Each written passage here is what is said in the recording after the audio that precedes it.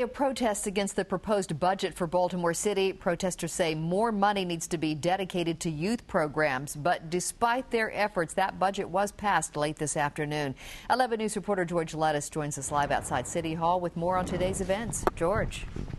Well, Donna, less than an hour ago, City Council passed that budget on a 14 to 1 vote, but those protesters uh, put up a fight. They say the city is spending too much money to beef up security instead of investing it in jobs and other programs for the city's youth.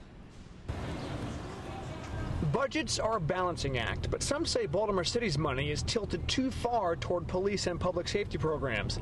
Community groups on Monday protested the city's budget proposal, which cuts parks and recreation and programs that pay for jobs or internships for city youth. We want more money to be put into our young people because they are the future.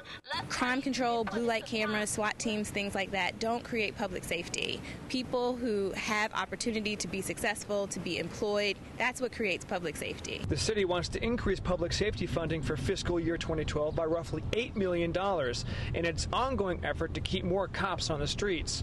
Lillian Sidner has lived in Baltimore most of her life. I think we need to split the difference.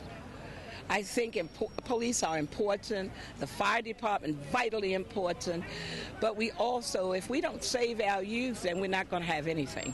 As City Council was set to make one of the final votes on the budget, Councilman Carl Stokes, who has said he's running for mayor, introduced a last minute amendment to take the new $8 million away from public safety and put it toward youth programs. Say it's grossly unfair that we're not fighting and kicking down doors and beating people across the head with what should be opportunities for young people. We had six shootings.